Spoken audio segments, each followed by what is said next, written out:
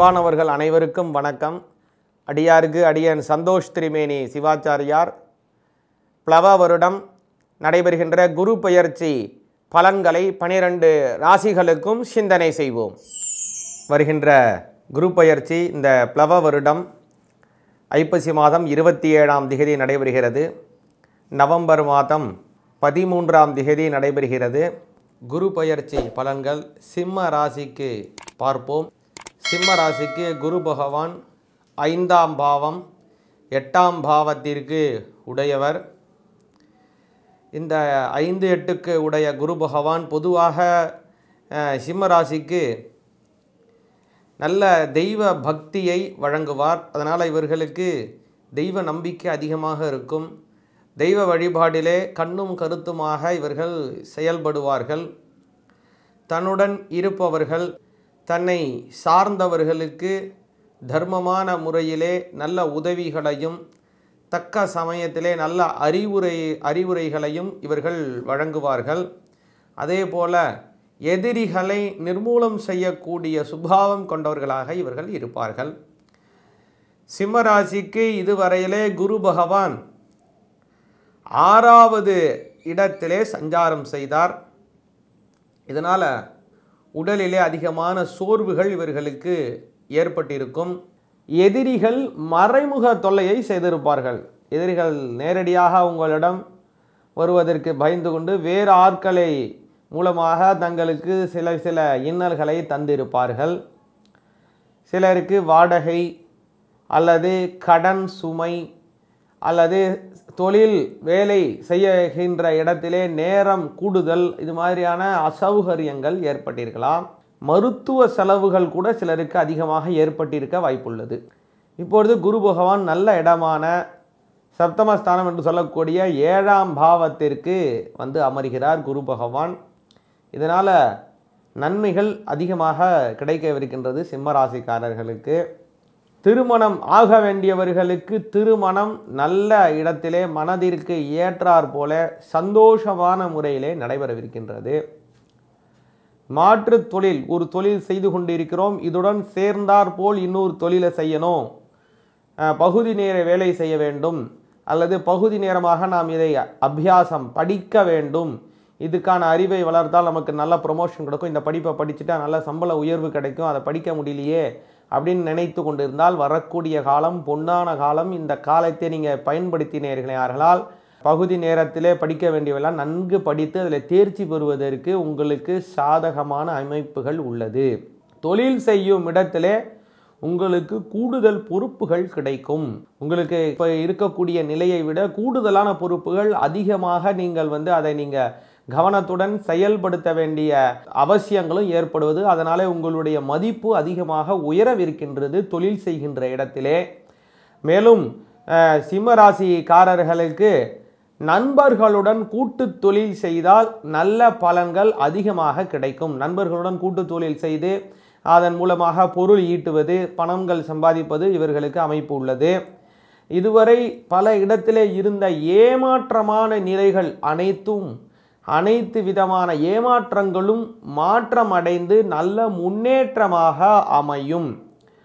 குரு பகவான் பார்வையினாலே தங்களுக்கு பலவிதமான நன்மைகளை செய்கின்றார். குறிப்பாக ஏழாம் பார்வையாக ஜென்மஸ்தானத்தை பார்க்கின்றார். அதனால தங்களுக்கு தன்னம்பிக்கை உயர்கிறது. எதுனாலும் நாம் சமாளித்து கொள்வோம் அப்படிங்கிற ஒரு தன்னம்பிக்கை உயர்ந்து எந்த செயலிலும் முனைப்புடன் செயல்படுவீர்கள். அதே போல ஒன்பதாம் பார்வையாக மூன்றாவது ஸ்தானத்தை பார்க்கின்றார். உங்களுக்கு தேவையான மாற்றம் சாதகமான சமயத்திலே நடைபெறும். ஐந்தாம் பார்வையாக பதினோராவது ஸ்தானம் லாபஸ்தானத்தை பார்க்கின்றார்.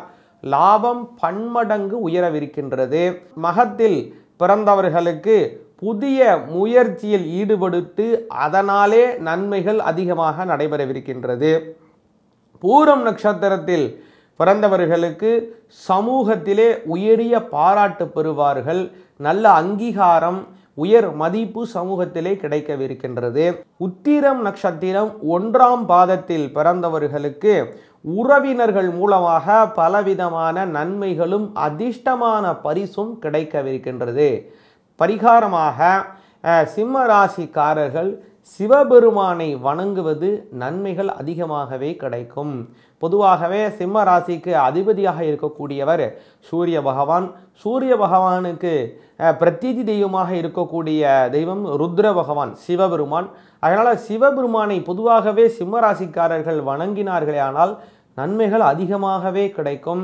சிவபெருமானை பிரதோஷ தினத்திலே வழிபாடு செய்வது ரொம்ப ரொம்ப நல்லது. என்றால் அந்த பிரதோஷ காலம் அப்படிங்கிறது தேவர்களும் அசுரர்களுமாக பார்க்கடலை கடந்து அந்த கடைந்த சமயத்திலே நஞ்சு உருவாகி அந்த ஹால ஹால விஷத்தை சிவபெருமான் தன்னுடையிலே நாக்கின் மூலமாக தொண்டையிலே உமையம்மையினோட உதவியுடன் நிலைநிறுத்திய காலம் அப்படிங்கிறது தான் அந்த பிரதோஷ காலம் அப்படிங்கிறது. அந்த காலம் அப்படிங்கிறது ரொம்ப உயர்வான காலம். தோஷம் அப்படின்னா குறைபாடு அல்லது ஏதாவது ஒரு தவறு அப்படின்னா பொருள்.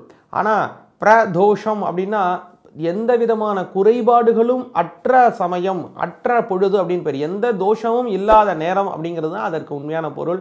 ஆனால் அந்த பிரதோஷ காலத்திலே ஒரு பவித்திரமான சமயத்திலே சிவபெருமானை நாம் வணங்கினோமையானால் நமக்கும் பலவிதமான நன்மைகள் கிடைக்கும். பொதுவாக இந்த சிம்ம ராசிக்காரர்கள் சிவபெருமானை பிரதோஷ தினத்திலே திங்கட்கிழமையிலே போன்ற நாட்களிலே சிவபெருமானை வணங்கினார்களே ஆனால் நன்மைகள் அதிகமாகவே கிடைக்கும். இது போன்ற ஆன்மீக தகவல்களை உடனுக்குடன் தெரிந்து கொள்வதற்கும் மேலும் ஜோதிடம் சார்ந்த விஷயங்களை அறிந்து கொள்வதற்கும் திருத்தலங்களினுடைய ஸ்தல வரலாறுகளை அறிந்து கொள்ளவும் நமது டிவோட்டி நேஷனை சப்ஸ்கிரைப் செய்யுங்கள். நீங்கள் தருகின்ற ஒரு சிறிய ஆதரவு எங்களுக்கு பேர் ஆதரவாக அமையும். நீங்கள் தருகின்ற ஆதரவினாலே பல திருத்தலங்களுடைய வரலாற்றுகளை உங்களுக்கு எடுத்து வரக்கூடிய பெரிய பாக்கியம் எங்களுக்கு கிடைக்கப்பெறுகின்றது அதனை நீங்கள் பார்ப்பதினாலே உங்களுக்கு அனைத்து விதமான இகபர சௌபாக்கியங்களும் வாழ்க்கை தர முன்னேற்றமும் வாழ்க்கை கஷ்டங்களிலிருந்து நிவர்த்தியும் வாழ்வாதார உயர்வும் கிடைக்க வேண்டுமாய் எல்லாம் வல்ல எம்பெருமானை பிரார்த்தனை செய்கிறேன். தங்களின் அனைத்து விதமான ஜாதகம் சார்ந்த தேவைகளுக்கும் குறிப்பு அறிவதற்கும் வாழ்க்கை தர முன்னேற்றத்திற்கும் வாழ்வாதார உயர்விற்கும் கீழ் இருக்கக்கூடிய நம்பரை தொடர்பு கொள்ளலாம். தங்களின் ஆன்மீகம் சார்ந்த சந்தேகங்கள் கேள்விகள் பொது வகையான கேள்விகளாக இருந்தாலும் ஜோதிடம் சார்ந்த சந்தேக கேள்விங்களுக்கு கீழ்காணும் இமெயில் ஐடிக்கு தங்களுடைய சந்தேகங்களை எழுதி அனுப்பினால் அதற்கு பதில் ஆனது வழங்கப்படும். மேலும் நமது ஆன்மீகம் சார்ந்த பதிவுகளை தொடர்ந்து பார்த்து மகிழவும். சிவாய நமகா